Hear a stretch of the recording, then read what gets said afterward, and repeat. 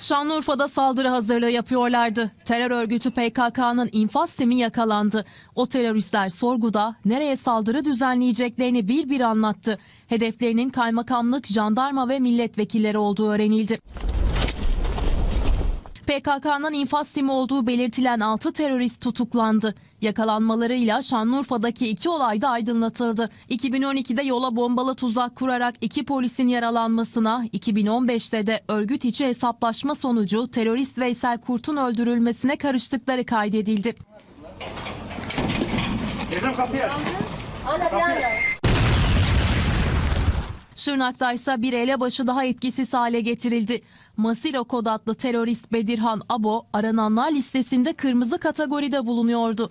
Başına 4 milyon lira ödül konan teröristin 31 Ekim'de Cudi Dağı'nda etkisiz hale getirildiği belirtildi.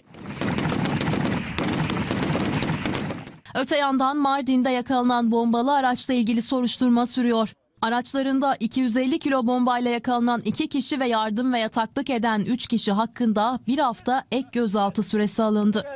Sürünerek ileri doğru asfalta doğru. Gel, gel, gel, gel. Gel. Gel. Gel.